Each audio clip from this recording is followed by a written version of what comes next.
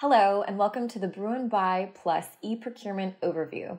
Today, we will be providing an overview of the e-procurement module within BruinBuy Plus and showing you how easy it is to purchase from a hosted or a punch-out catalog. Let's get started. As you can see, I am already logged into the BruinBuy Plus application. This is the BruinBuy Plus homepage. This is where you will see all of your various shopping widgets that will allow you to make requests and purchases, as well as track those purchases and see any important updates from UCLA as provided. We will discuss this in more detail in a future webinar. The shopping widget allows you to search for items you wish to purchase. This search can be done by entering in various keywords for items, vendors, and even forms. The results you see here are your hosted catalog items. These are items that are provided by the vendor, allowing you to purchase right within the BruinBuy Plus application. It's as easy as clicking on the Add to Cart button. Now, if you'd like to narrow down your keyword search, let's say by product, then here in the by product flag section, you will find categories in which results in your keyword search can be narrowed down. In particular, you can filter for green products by using the green flag. Now, all of the paper that you see is also flagged as green. Now that you have narrowed your search a bit, you can also use the compare feature to compare prices for a specific product or service. In order to compare pricing on items, click the Add Item to Compare icon for each item that you would like to see in your comparison. You can compare up to four items at once. You can also select items by vendor, by category, and other options as you see fit. Now, let's say that you wanted to include additional parameters to help narrow your search. Click on the Advanced tab.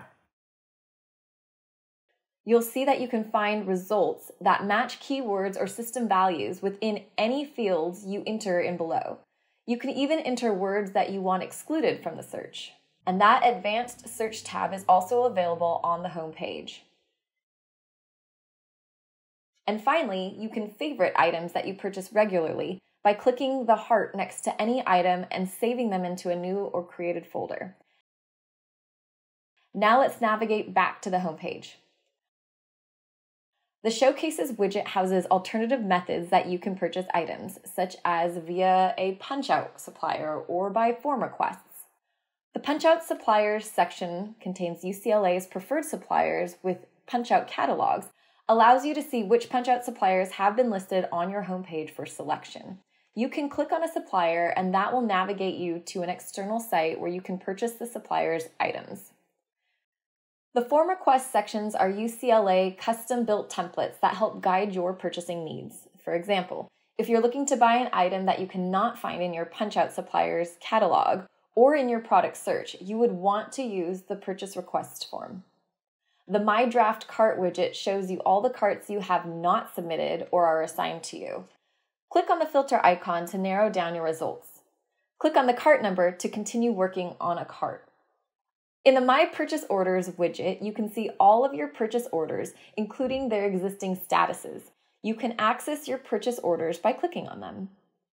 The Action Items widget allows you to see any pending to-dos that you need to complete. For example, if you've submitted a requisition and it has been returned to you by an approver, you can find your returned requisitions link within this widget. The UCLA message widget contains information for you from your procurement team. You can also expect to find supplier updates, additions, or new information provided by UCLA in the future. And finally, the Quick Links widget contains URLs to important applications outside of BruinBuy Plus. This concludes the overview of BruinBuy Plus's new e-procurement application.